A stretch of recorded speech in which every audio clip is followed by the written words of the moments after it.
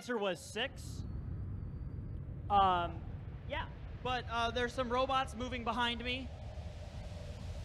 They're doing some things. This is our sandstorm period for qualification. Match number 12. After your sandstorm period, it looks like your blue, Red Alliance is going to come out on top 22 to 6. Let's see if the Blue Alliance can respond. Team 52 48. That's your Robo Saxons for the Red Alliance. They're able to score a cargo in that cargo ship for the Red Alliance. The Comets over here on the blue side, they're trying to score that cargo, lining it up. So close. Are they going to be able to get it out of their machine? Let's hope that they're going to be able to do that. Robo Saxons for the Red Alliance. They shoot, they score. Now they're trying to get this cargo from this.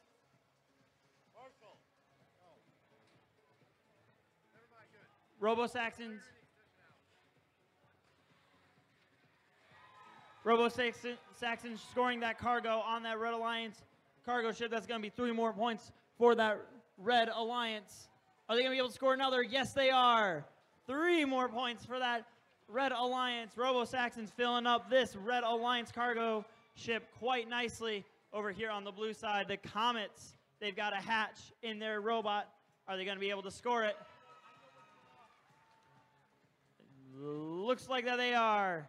Two points for the Blue Alliance. Their partners, our rookie team in this match, the Magitech.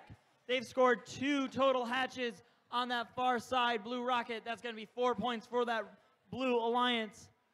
But with 45 seconds left, your Red Alliance has a comfortable lead of 17 points. Make it 20 points as the Robo Saxon's able to score a cargo for that Red Alliance. With 30 seconds left, we're going to start seeing teams moving to the sides of the field and trying to climb on this habitat zone. Looks like we got one going up for red. That's your two paw robotics team from Paw Paw High School. 20 seconds left in the match. Your red alliance out on top, 45 to 30. Let's see if the blue alliance can make it up in the this these final seconds. Two paw, so close. They're up for the red. That's going to be enough to get a ranking point for the red alliance if that stands.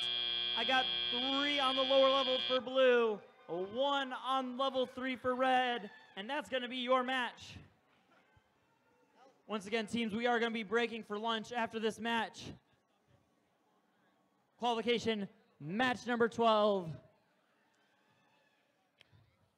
Ladies and gentlemen, your official scores are official scores are in for qualification match number 12 down here on the Parker Field. It's going to be your Red Alliance winning by a score of 65 to 41. That Red Alliance was able to get a total of three ranking points in that match. Two for winning the match, one for getting 15 points or more in the habitat zone. Way to play Destination Deep Space, teams.